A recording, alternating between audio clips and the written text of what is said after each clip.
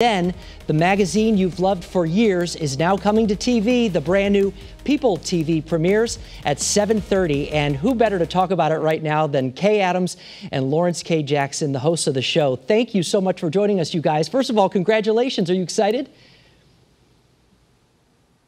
Oh, so so excited! Thank you first of all for having us, Mark. Kay, how I mean, on a scale of one to like drunk excited, we are so excited. drunk excited? I don't know about that, but we are here in New York scale. City. We're on the East Coast with you. Happy to be with you five days a week. All the big celebrity yeah. stories, and then stories about ordinary people doing extraordinary things. We can't wait. Well, I was just going to say, so tell us about the show if you could, because obviously there are a lot of these kinds of shows on TV, but this is different because, you know, we talk about the magazine. Everyone has read People magazine for, you know, years and years. And now it's kind of shifting uh, to being on TV and bringing a whole new focus to everyone out there.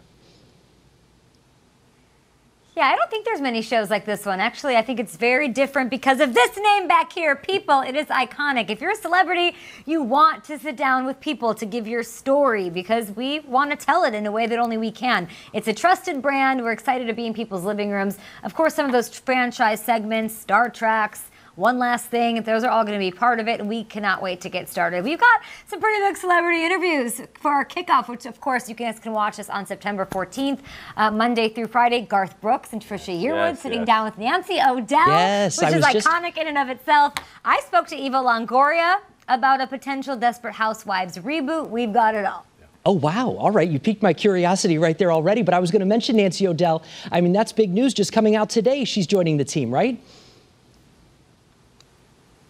Yes, uh, as of today, I guess that is up, out there. Uh, in the been, world. Yeah, she's been doing some reporting for us, so I think that'll uh, that'll definitely give us a nice thing to, to look forward to. She'll be a special contributor. She's got all the best relationships. She's one of the biggest stars. You always see her on a red carpet, and you know you're talking to somebody who knows what they're doing. Well, it's a great team, and I know you're doing the show, as you said, from New York City at a time when uh, it's uh, there's a lot of change and a lot of things going on. Briefly, how has that been going? What's that been like for you guys?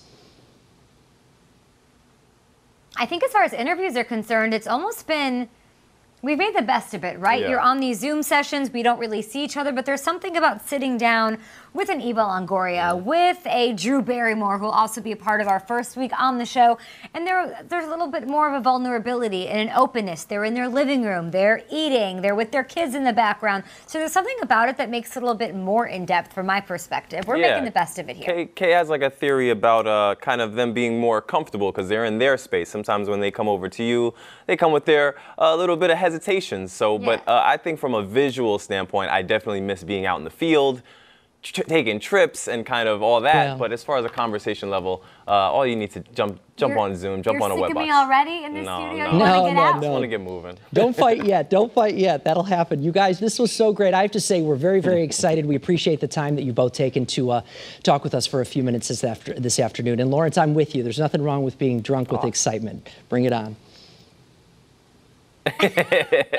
Mark gets it. We appreciate the enthusiasm and the excitement. Okay, let's go get drunk excited. See you later. Absolutely. Guys. We'll see you Monday. Thanks, you guys. Take care. Good luck with everything.